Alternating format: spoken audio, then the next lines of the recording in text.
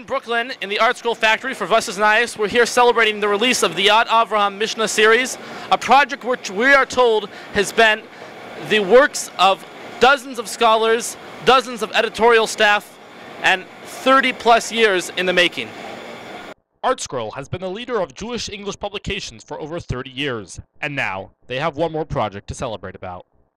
Started over 30 years ago, the Mishnah translation was one of ArtScroll's earliest endeavors. The Mishnayos project, from its inception, was uh, a project that was produced at a slower pace because it was considered uh, best to have one editor, one author per volume to give it a consistency. Point there was a span of a number of years where there were various difficulties in continuing the project, difficulties in obtaining the proper personnel, and dif- difficulties with funding.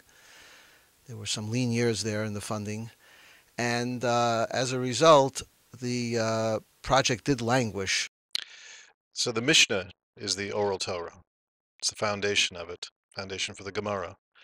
The availability of this resource has made it possible for, I guess I'll be personal for a moment, people like me who came into observant Jewish life a lot later to start to catch up. Also, you think of groups like Partners in Torah and others who do paired learning for the, the late learner, the more mature learner who doesn't have the foundation.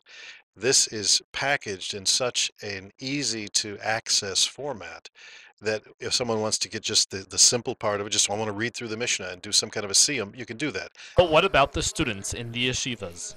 Is Art ArtScroll's Mishnah something we should be using in the yeshiva classroom? How do you see uh, or feel um, as the editor in, in this project about uh, kids today using the ArtScroll Mishnayos in yeshivas versus uh, regular uh, Hebrew Mishnayos?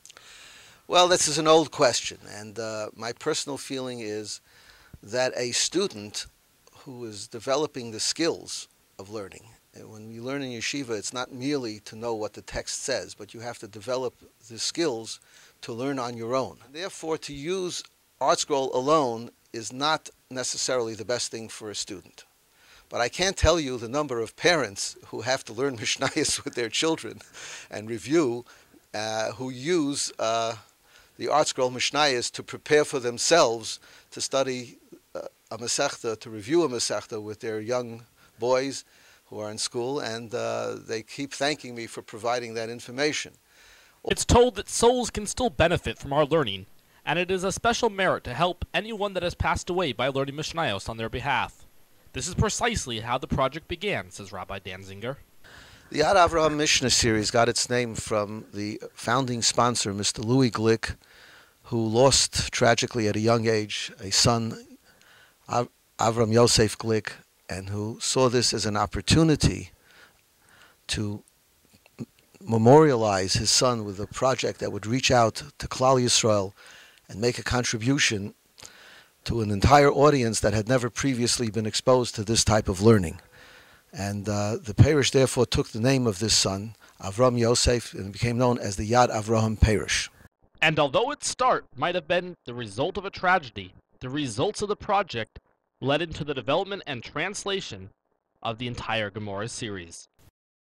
The Mishnayos project created the audience that would later become the Gemara project. And without the Mishnayos project having been successful, I doubt very much that the Schottenstein Talmud would have ever happened. It was the success of the Mishnayos which showed that there was an audience, an English speaking, English reading audience, which thirsted for a deeper knowledge of Shas, originally in the form of Mishnayos, because our Mishnayos was never simply a basic commentary. Without that, I don't think the, the uh, Schottenstein Talmud would have ever happened. We also developed people uh, who were capable of writing and editing the lumdisha material that's necessary to make our Shas the success that it has become. And that team was developed primarily in the Mishnayos.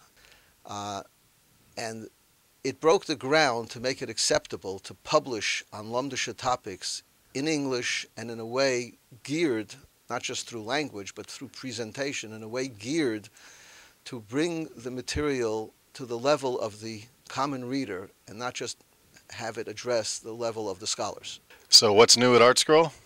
Well, it depends what time of year it is, but there's always 50 or 60 new things here a year. But at right now, one of the most extraordinary things that's just come out in time for Parshas Truma is the Mishkan, the tabernacle, its structure, and its sacred vessels. Also, the Bigdei Kehunah are here. Almost 300 pages of extraordinary detail. I don't think you've ever seen the Mishkan represented the way that it is in this beautiful book.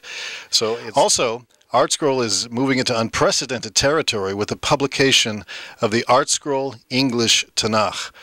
Think of the stone Tanakh that you all know, but with the Hebrew removed, but some other special enhancements, study elements that are involved in it that are going to make it possible for people who are not so Torah literate to really grasp the full sweep of Tanakh, and that'll be widely, widely distributed. In fact, if there are people who are wondering, how do I introduce somebody who's not really uh, knowledgeable of Torah or Tanakh into that process, this new Art Scroll English Tanakh will really serve that well. From Brooklyn, Joseph Shidler, Vin News.